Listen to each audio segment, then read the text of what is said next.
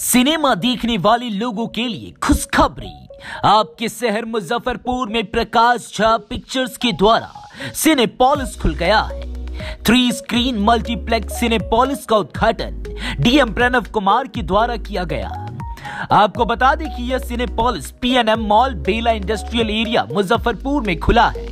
उद्घाटन के मौके पर बिहार के गौरव प्रकाश झा भी मौजूद थे। आपको बता दें कि इस मॉल में कुल 637 सीट की व्यवस्था की गई है, तथा हॉल आधुनिक तकनीक से सुसज्जित है। इस कार्यक्रम के सफल संचालन में रितेश गिरी ने अहम भूमिका निभाई।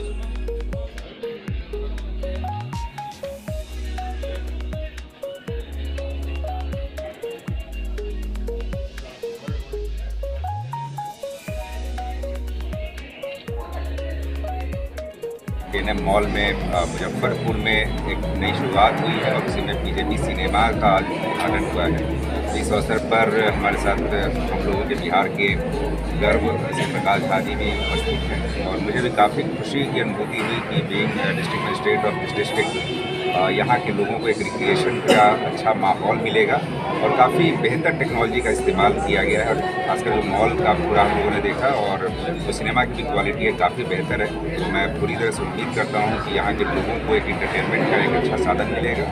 और रिक्रिएशन का भी एक प्लेस मिलेगा जहाँ पर कि लोग आ सकते हैं और सारी चीज़ें कर सकते हैं। मैं पूरी तरह से आश्वस्त हूँ कि काफ़ी बेहतर यहाँ माहौल प्रदान किया जाए और इसके बेहतर तरीके से संचालन के लिए मैं अपनी शुभकामनाएँ व्यक्त करता हूँ। बहुत बहुत धन्यवाद कलेक्टर साहब का, यहाँ के बाकी एडमिनिस्ट्रेशन का और सभी का। मुजफ्फरपुर के सभी लोगों का जिन लोगों ने सहयोग किया, उनके सहयोग से ये मॉल बना है। और उम्मीद करता हूँ कि ये डेस्टिनेशन बनेगा और मुजफ्फरपुर के लोगों को बेहतरीन एंटरटेनमेंट शॉपिंग इन सारी चीज़ों का अनुभव होता रहेगा और हम एक से एक बेहतर यहाँ पर सुविधाएँ प्रस्तुत करते रहेंगे। धन्यवाद आप सबका। Thank you